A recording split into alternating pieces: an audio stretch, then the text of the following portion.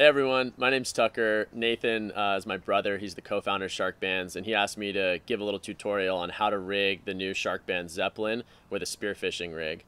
So I've been spending time in the ocean basically my entire life. I'm a big spearo, surfer, freediver, and you know I've had a lot of encounters with sharks in my life. And so when they invented the Zeppelin for pole fishing, we were trying to figure out a way how do we rig this for spearfishing gear and we were actually down in the tropics one night, kind of brainstorming, thinking about ideas, and came up with a really simple way of rigging this that you have all the gear in your normal repair kit to just do it today.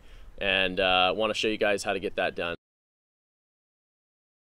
You need a very few items to actually create this setup. The first thing you need, of course, is a Sharkbanz Zeppelin, and then just two normal spearfishing crimps um, that go on monofilament a good pair of pliers or crimps and then some monofilament. I'm using a 400 pound test monofilament, but you could certainly use something thinner for this. There's not going to be a whole lot of stress uh, on the line. So basically what we're going to do is take the Zeppelin and there's two holes on either side of the Zeppelin and we're just going to rig a loop of monofilament on each side and then crimp it down. So I'm going to show you guys that process real quick right now. I think the easiest way is just to cut to, you know, about 10 inch pieces of the monofilament. So I'm just going to go ahead and cut to probably 8 to 10 inch pieces of monofilament. Then you can set that aside. And basically then just take it, rig it through one of the holes in the Zeppelin, and then just standard like you're doing a normal loop on your spearfishing rig. You're going to put the crimp through both sides slide that through, and then basically just pull down on one end so you get a loop that's fairly tight. Uh, you probably want about a one inch diameter, uh, no more than a one and a half inch diameter, but I think about an inch is plenty. The key thing is you want to make sure that there's just enough clearance above this loop and the top of the Zeppelin.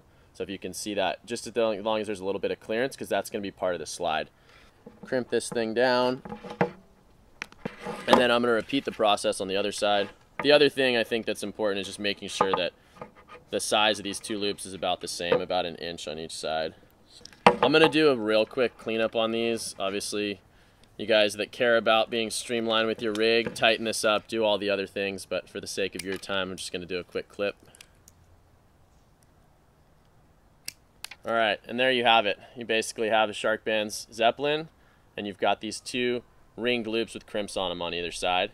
That's your fundamental rig, the simplest thing you can do to rig this on your gun. So I'm going to show you guys how to rig this. Uh, this is an Andre 144. It's on a breakaway setup. Um, it's a three band um, closed track.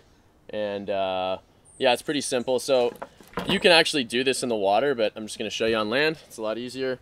So, you know, just pull your trigger mech and then take the shaft out. All right, so I've got the shaft and the shooting line here of my spear gun on a breakaway setup and the Zeppelin. And basically what I'm gonna do is take the end of the shooting line and I'm just gonna string the Zeppelin through both ends. Like so.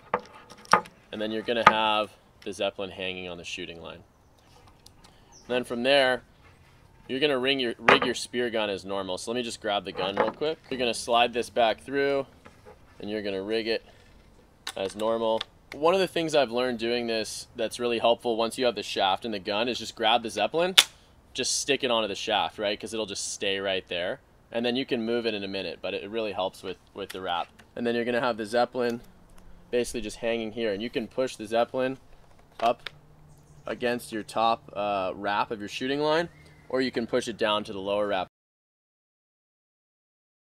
When you have the Zeppelin rigged on the line and it's on this free sliding track, this is designed to create no impediment so that the so that the shaft fires smoothly and cleanly out of the gun every time. When you fire the gun, the the shaft obviously is going to come out and then as you know, it's going to go through the fish and then as you're ascending in the water, the gravity and weight of the zeppelin is going to actually coast down the line, and it's basically like a like a track that you just made for the zeppelin, and it's going to magnetize onto the end of the spearfishing shaft, and boom, you've got protection from sharks, and it's going to increase your time and ability to get fish back onto the boat and away from those sharks. So, you know, I've personally seen this work in the water. It's it's pretty incredible uh, to watch sharks bounce off this thing, and uh, really increase the time and increase your safety in the water that you have to land a bloody wounded fish back to the boat. So. Uh, thanks for listening. Post any questions you have in the comments. We'll be happy to answer. And uh, thanks for watching.